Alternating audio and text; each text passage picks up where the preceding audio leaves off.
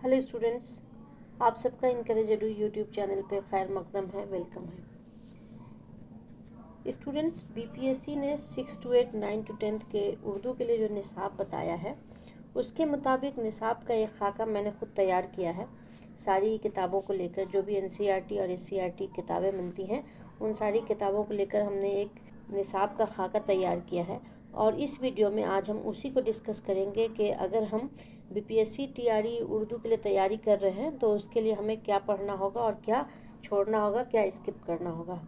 तो एस और एन की उर्दू की जो किताबें हैं, उससे मैंने खाका बनाया है और उसी खाके को आज हम डिस्कस करेंगे। तो चलिए वीडियो की शुरुआत करते हैं और डिस्कस करते हैं कि हमें क्या पढ़ना है बीपीएससी टीआरई के उर्दू के लिए।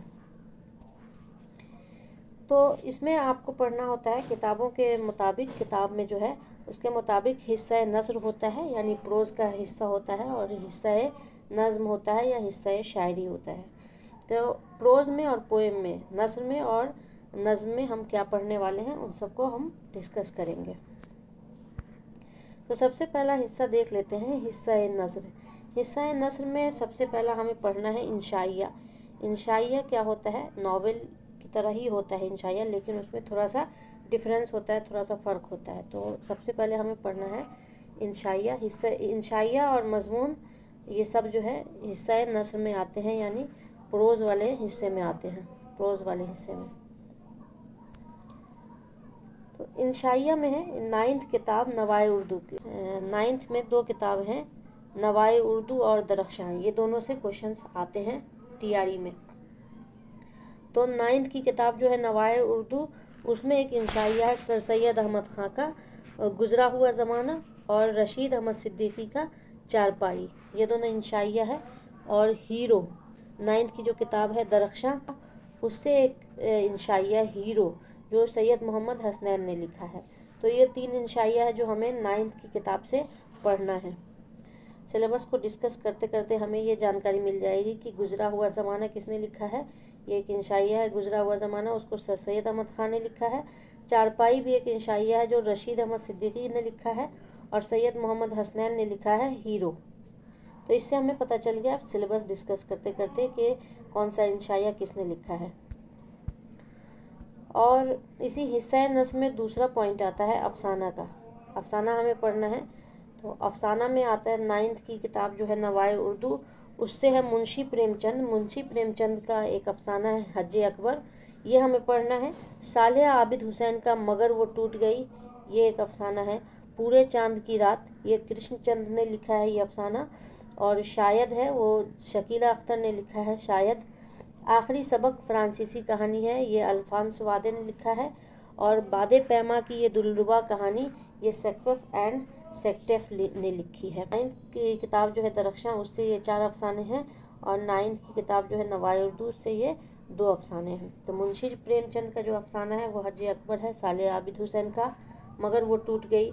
शायद शकीला अख्तर ने लिखा है, आखिरी सबक अल्फांस वादे ने लिखा है और बाद पैमा की ये दुलरुबा कहानी सेक्टफ एंड सेक्टफ ने लिखा है। ये सारे जो है अफसाने हैं। तो हिस्सा नसर का हमने देख लिया इंशाइया कौन सा पढ़ना है, अफसाना कौन सा पढ़ना है, ये नाइन्थ किताब को हम डिस्कस कर रहे हैं। उसके बाद हम टेंथ किताब को डिस्कस करेंगे टेंथ की किताब में हमें क्या क्या पढ़ना है।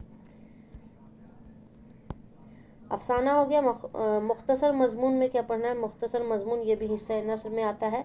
अब्दुल हलीम का एक मुख्तसर मजमून है, अब्दुल हलीम शरर का देहात की ज़िंदगी। अब्दुल हलीम शरर का एक मुख्तसर मजमून है, देहात की ज़िंदगी। और मिर्ज़ा फ़रतुल्ला बेग का है नज़ीर अहमद की कहानी। मिर्ज़ा फ़रतुल्ला बेग ने लिखा है नज़ीर अहमद की कहानी। ये मजमून है, मजमून का ये टाइटल है, नज़ीर अहमद की कहानी। कुछ मेरी और कुछ उनकी ज़बानी।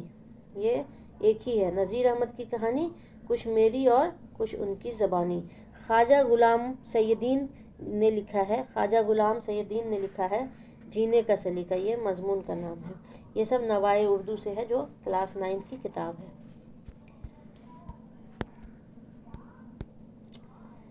अगला है, वो मुख्तसर मजमून था और ये मजमून है। मुख्तसर मतलब छोटा मजमून था और ये मजमून है, दरख्शां से लिया गया है। नाइन्थ की किताब है दरख्शां उससे।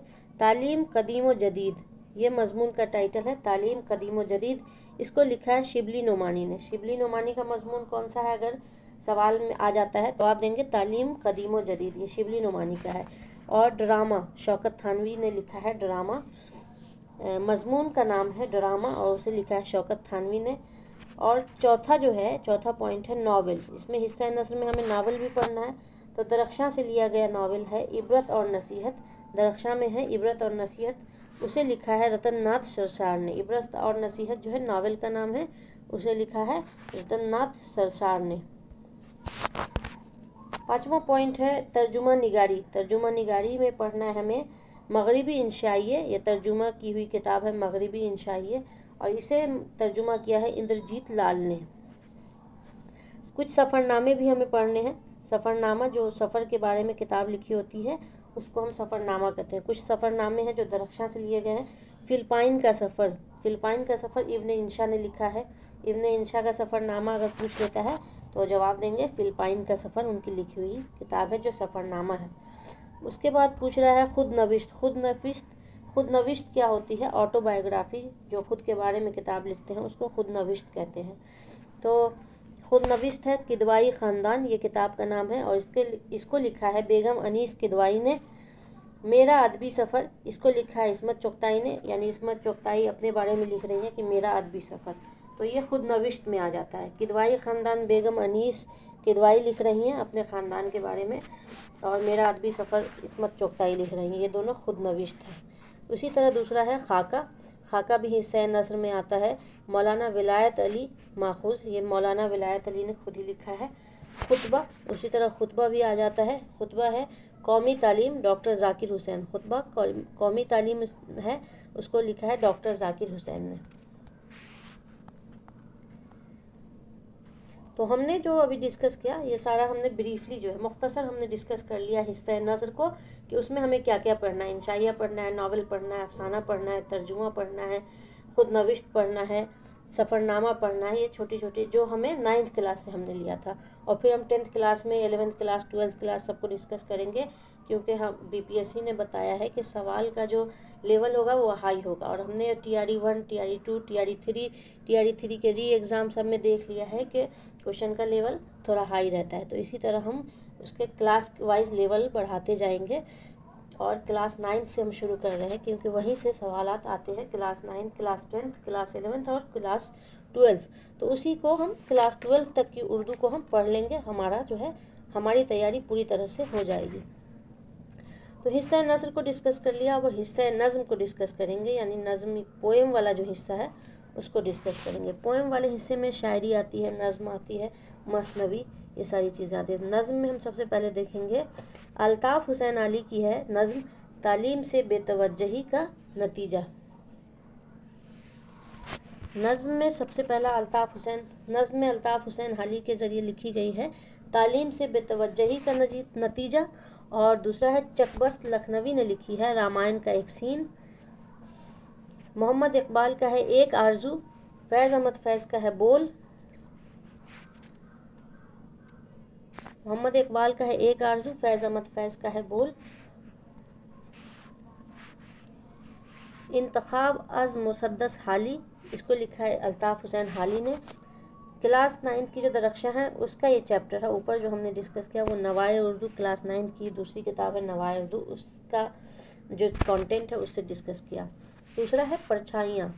इंतखाब अज इंतखाब अज मुसदस हाली, अल्ताफ़ हुसैन हाली ने लिखा है। ये नज़म है परछाइयाँ, नज़म है साहिर लुधियानवी ने लिखा है परछाइयाँ। ये है मेरा हिंदुस्तान, ज़ुबैर रिजवी ने लिखा है। ये सारी नज़म है। आज का स्टूडेंट ये भी एक नज़म है और ये दिलावर फ़गार ने लिखा है, दिलावर फ़गार। नगम आज़ादी ये तर्जुमा है। किसी दूसरी ज़बान में होगा, इसको तर्जुमा किया गया है और इसको तर्जुमा किया है सुब्रमण्यम भारती ने। ये नगम आज़ादी तर्जुमा है और ये एक नज़म है, उसको तर्जुमा किया है लिखा है सुब्रमण्यम भारती ने। तो नज़म को डिस्कस किया और हिस्सा नज़म हिस्सा नज़म या हिस्सा शायरी में नज़म, गज़ल, मसनवी सब आ जाती हैं। तो अब हम गज़ल के बारे में जानते हैं कौन कौन सी गज़ल पढ़नी है, हमें कौन कौन सी गज़ल पढ़नी है। वली मोहम्मद वली की गज़ल है, मुफलिसी सब बहार खोती है। ये वली मोहम्मद वली की है। मीर तकी मीर की है, अश्क आँखों में कब नहीं आता। मीर तकी मीर की है। मिर्ज़ा गालिब की है, दर्द मिन्नत कशे दवा न हुआ। मैं ना अच्छा हुआ, बुरा न हुआ। ये मिर्ज़ा गालिब की है। हसरत मोहानी की है, रोशन जमाल यार से है, अंजुमन तमाम। ये हसरत मोहानी की है। फराग गोरखपुरी की है। सर में सौदा भी नहीं, दिल में तमन्ना भी नहीं। ये फराग गोरखपुरी की है। मजरू सुल्तानपुरी, हम हैं मताए कूच बाज़ार की तरह। ये मजरू सुल्तानपुरी ने लिखा है और ये फ़िल्मों में गाना लिखा करते थे। जान अयाम दिल बड़ी है याद। ये फ़ायज़ दहलवी का है।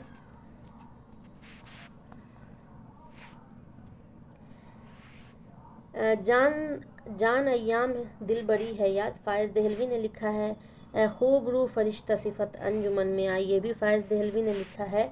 तोहमतें चंद अपने ज़िम्मे धर चले, ख्वाजा मिरदर ने लिखा है। तुझी को जो यहाँ जल व फरमान न देखा, ख्वाजा मिरदर ने लिखा है। कभी ए हकीकत मुंतज़र नज़र आ लिबास मजाज में यह अल्लामा इकबाल ने लिखा है। सितारों से आगे जहाँ और भी है, ये भी अल्लामा इकबाल ने लिखा है। बकदर पैमाने ए तखयल सुरूर हर दिल में है खुदी का। ये जमील मजहरी ने लिखा है। सुबह खुद बताएगी तीरगी कहाँ है। ये भी जमील मजहरी की लिखी हुई गज़ल है। सरफरोशी की तमन्ना अब हमारे दिल में है। बिस्मिल अजीम आबादी तुझे खबर भी हुई या नहीं हुई ए दोस्त? ये भी बिस्मिल अजीम आबादी की है। ये सारी गज़लें थी जो ए, कौन सी गज़ल किसके ज़रिए लिखी गई किसने लिखी है ये सब हमें पढ़ना है। ये सारी गज़ल हमें पढ़ना है। और सिलेबस में जो है गीत भी हमें पढ़ना है। हमारी उर्दू की किताबों में गीत भी दिया गया है। तो हमें कौन कौन सी गीत पढ़ना है? मीरा जी का गीत है, सुख की तान और बेकल उत्साही का एक गीत है। गीत हमारे सब के लिए है, क्या अपने क्या गैर? बेकल उत्साही का गीत है, गीत हमारे सब के लिए हैं, क्या अपने क्या गैर? और मीरा जी का है, सुख की तान। ये दोनों गीत हमें क्लास नाइन्थ की उर्दू से पढ़ना है। इसी तरह है, किता है किता में पढ़ना है, वहीदुद्दीन सलीम का है दावत इनकलाब, और अख्तर अंसारी का है इम्कानात आरज़ू शब पुरबहार। ये अख्तर अंसारी का है इम्कानात आरज़ू शब पुरबहार। इसी तरह अख्तर अंसारी का है इन आंसुओं को टपकने दिया था ना मैंने। ये ये सारे कीता है। इसी तरह कसीदा भी पढ़ना है हमें। कसीदा में पढ़ना है। इब्राहिम ज़ौक का है, ताले सदा मसाइद आलिम सदा मोती। ये हमें पढ़ना है कसीदा में। और इसी तरह मरसिया में पढ़ना है, सलामत अली दबीर का मरसिया है, बयान शहादत हुड़ शाद अजीम आबादी का है, रुखसत हज़रत अब्बास।